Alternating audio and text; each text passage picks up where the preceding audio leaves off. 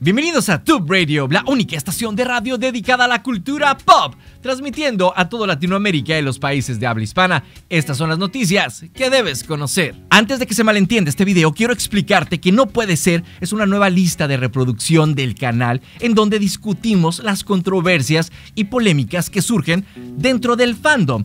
Yo sé que este es un tema delicado, así que aclaro que en ningún momento queremos molestar ni ofender absolutamente a nadie. Pero recuerda que toda discusión en el buen sentido enriquece a ambas partes y lo único que nos interesa es saber cuál es tu opinión sobre el asunto. No puedo creer que hiciera esto, de hecho no estoy de acuerdo con esta rivalidad que existe entre los universos cinematográficos de Marvel o DC Comics. Creo que ambos universos nos ofrecen algo interesante y creo que ya depende de cada uno de nosotros cómo lo disfrutamos o si lo hacemos o no. Pero creo que si esto tenía que pasar, pues qué mejor que lo hicieran los villanos de DC. Al final de cuenta, son los malos y es lo que hacen. Sí quiero aclararte que esto sucede después de que alguien de la audiencia lo gritara primero. El director lo único que hace es repetirlo con una fuerte energía. Una cosa es que alguien del fandom, uno de nosotros, un civil, lo haga, pero cuando alguien que representa a DC y Warner lo hace, obviamente hay muchas cosas en juego. Así que posteriormente el director se disculpó a través de sus redes sociales explicando que se dejó llevar por el momento y que lo que hizo no estuvo bien,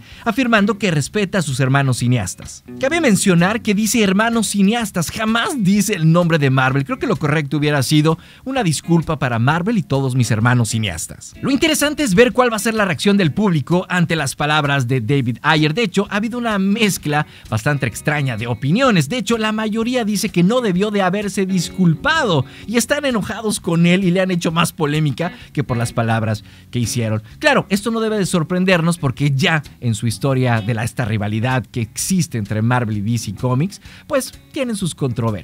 Pero la realidad es que la rivalidad entre los universos cinematográficos la hacemos nosotros y depende si la seguimos o la acabamos. Si a mí me lo preguntas, yo diría que se joda Warner, que se joda Disney y voy a ir a disfrutar la película como lo que soy, un verdadero fan de superhéroes sin importarme de qué franquicia es, de qué marca, cuánto mete en taquilla, qué es lo que dice la crítica, qué es lo que dice el público en general. Si a mí me gusta, adelante, disfruta estas películas porque estos personajes son increíbles y no me voy a detener o no nos debemos de detener simplemente porque uno es de Marvel, porque otro es de Vertigo, porque otro es de Image, otro es de DC Comics. Si te gusta, ve y disfruta la película y cuando la veas, Sal a estas redes sociales y di qué es lo que te parece, di la verdad, porque a cada uno de nosotros nos va a afectar de manera diferente. Así que lo importante es que se jodan los críticos.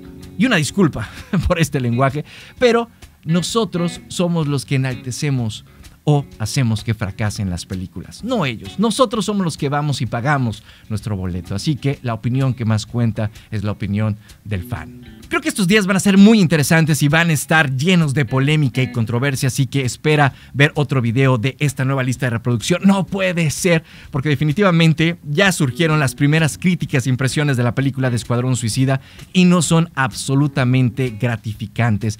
De hecho, creo que se la están acabando exactamente con el mismo rigor de la película de Batman v Superman. Así que esto lo vamos a estar comentando durante el fin de semana, porque vamos a dar un seguimiento de esta película que para muchos podría volver a enaltecer lo que es el universo extendido cinematográfico de DC Comics. Me interesa saber cuál es tu opinión sobre este asunto, así que no olvides dejar tus comentarios aquí abajo. Si esta es la primera vez que nos ves, suscríbete a Tube Radio porque tú eres uno de nosotros, un verdadero fan de todo esto. Y recuerda que estás escuchando a la única estación de radio dedicada a la cultura pop, transmitiendo a toda Latinoamérica y los países de habla hispana. Nos vemos en el próximo video.